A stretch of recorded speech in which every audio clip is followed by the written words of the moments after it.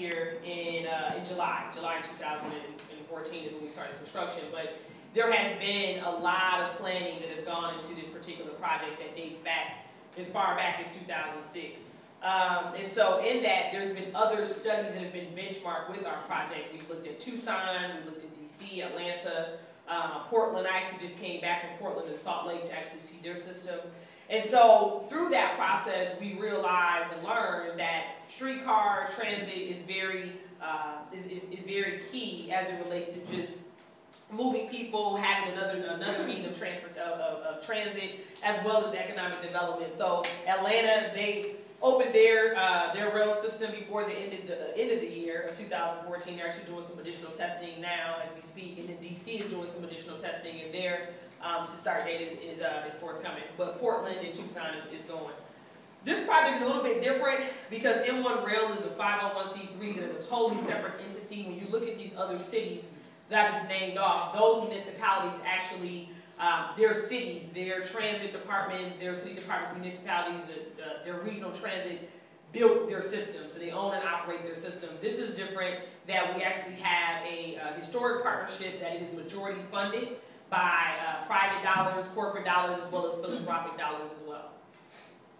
So just at a glance, um, with, the, with our project, it is 3.3 miles from Larned at the most southern terminus to uh, Grand, uh, West Grand Boulevard at the, the most northern terminus, then 3.3 back. So we say 3.3 straight, but it's a, a loop of a 6.6 mile uh, transit system. We do have 20 stops. Um, some are center running, some are curb running.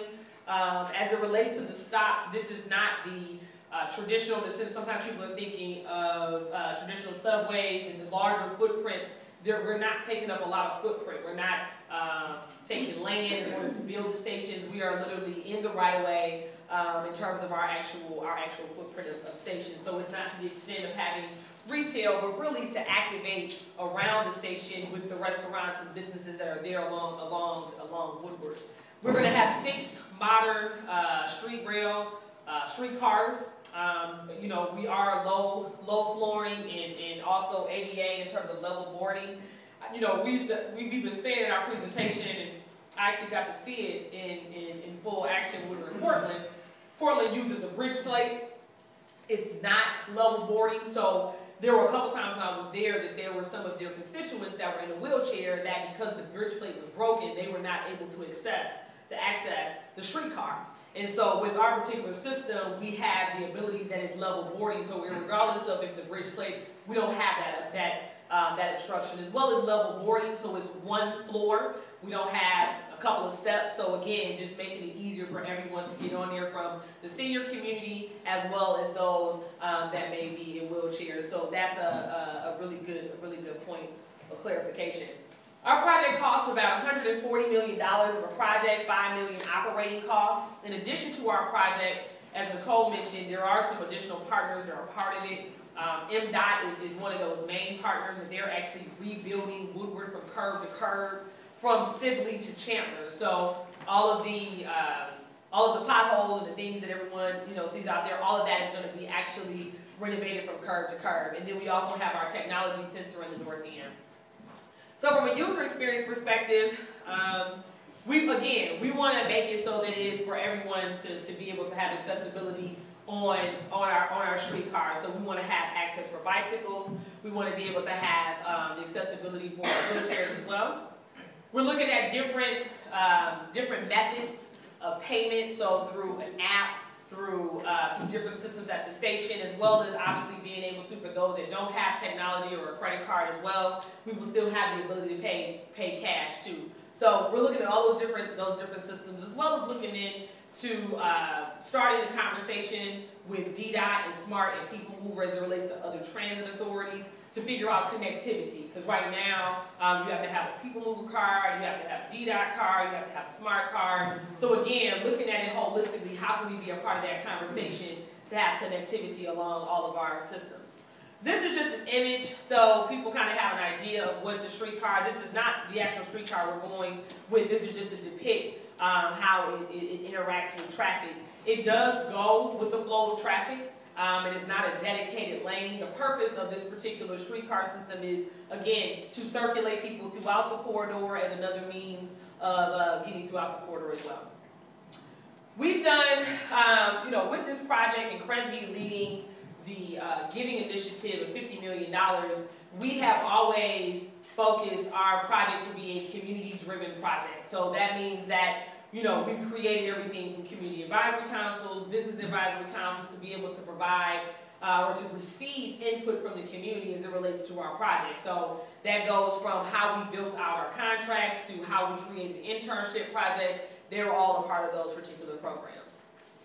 We've had a series of meetings and we'll continue to do that. Um, we had, when we first kicked off our construction, we, uh, we were doing the same thing as we're doing now. Our key points of, of, of, of, of, schedule for us is really to go out a couple times a year into the communities and give an update as to this is where we are. So we're continuing to do that as we did last year as well.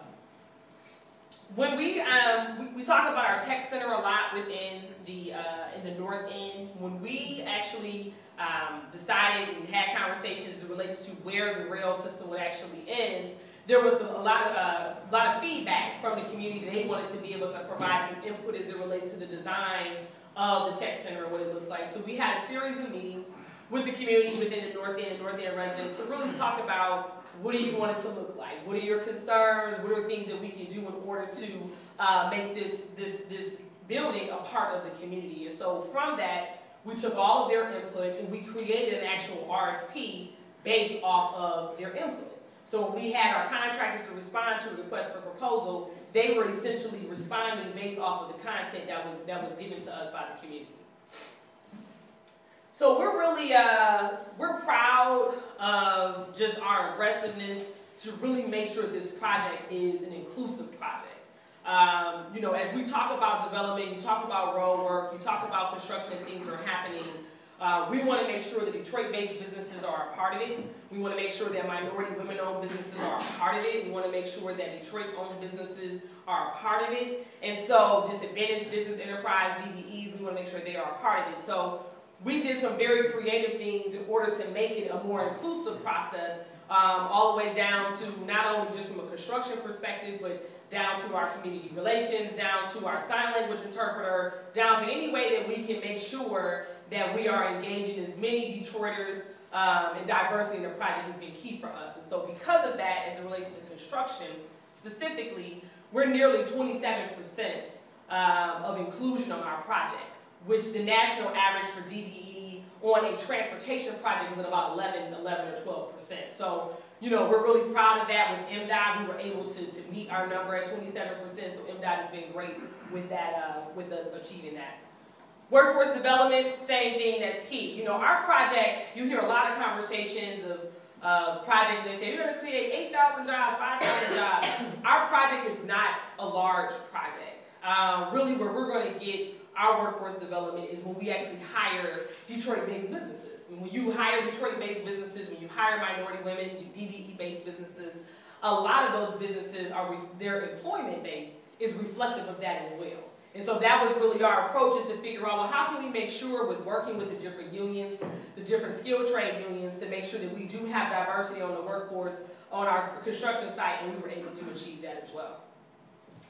Our internship program this year, uh, last year was our uh, inaugural year, and, and Nicole did a great job. We teamed up with City Connect last year, where again, our goal is not just on the construction side, but how can we expose our young people to an industry that is not traditional um, in a lot of different communities. And so this year we actually had 11 interns that came from HBCUs and Michigan State, and we had a couple of high school students that came as well. And so we're looking to do that again this year. We're actually going to partner up again with City Connect. As you all heard a couple days ago, Mayor Duggan made an announcement in order to have 5,000 students um, that he wants to actually have employment opportunities. We will be a part of that initiative um, to make sure that we're putting Detroiters and our young people to work. So we will be a part of that internship program as well.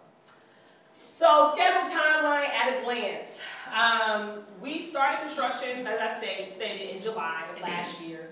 Um, this 2015 is really going to be our main crux of construction. That's where we're going to have um, the majority of just work taking place throughout the corridor.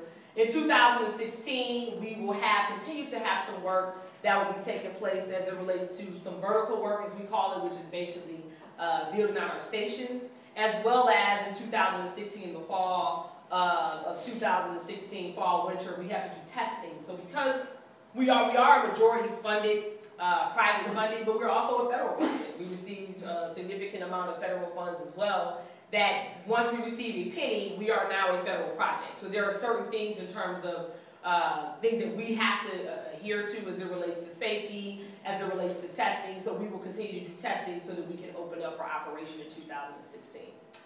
So in 2015, we learned a lot.